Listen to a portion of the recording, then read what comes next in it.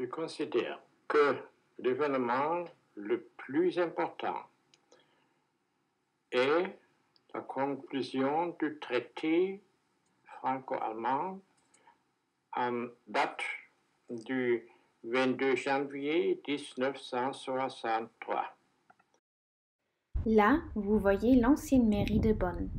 À cette place-là, Charles de Gaulle s'est adressé aux citoyens allemands il y a plus de 60 ans. Il prononce son discours allemand de façon émouvante. Écoutez. Es lebe Bonn! Es lebe Deutschland! Es lebe die deutsch-französische Freundschaft!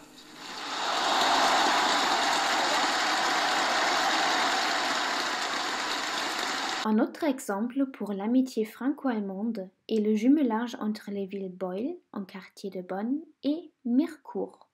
Grâce à des échanges, les habitants découvrent la culture du pays voisin comme le carnaval. Vous êtes capable de trouver la place de Mirecourt et la rue de Mirecourt à Beul.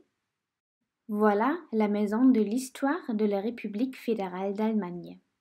Visitez l'exposition permanente Unsere Geschichte, Deutschland seit 1945, pour avoir une idée du rapprochement entre la France et l'Allemagne.